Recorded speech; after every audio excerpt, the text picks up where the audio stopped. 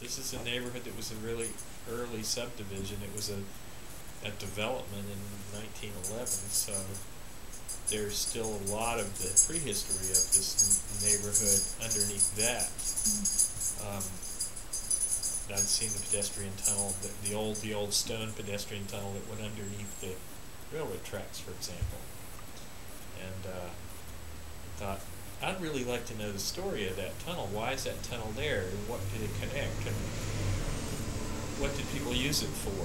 Um, and uh, we found out in our research for the for the historic signs, for example, that the tunnel was there to allow people on the other side of the tracks to come over to the, to the baseball field to watch games.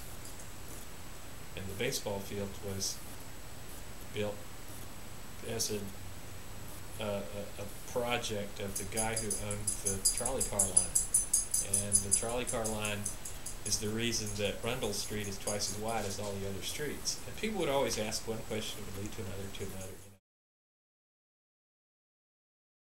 Well, that's an interesting one. See, well, I will figure that out.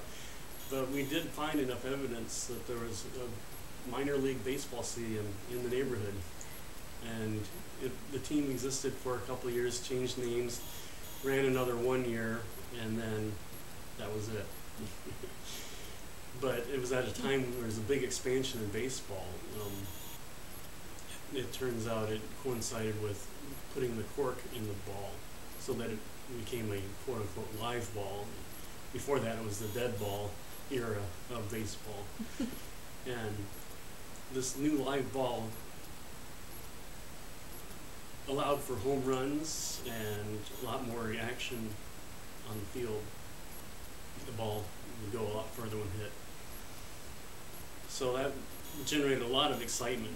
And um, so every town, well, not every town, but lots of towns had minor league teams. They were all put up by local sponsors.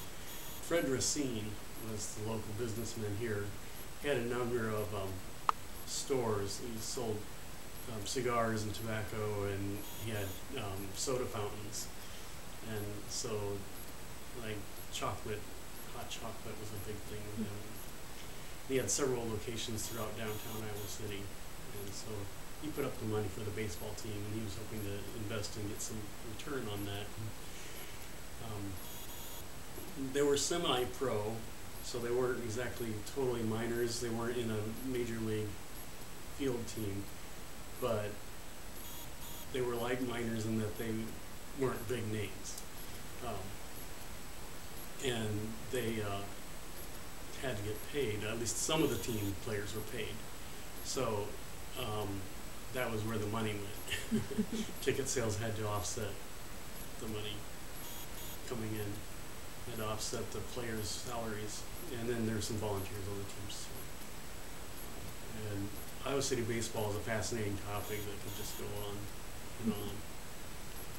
But um, that was one marker that we found out that should be marked. You know, we could mark a location.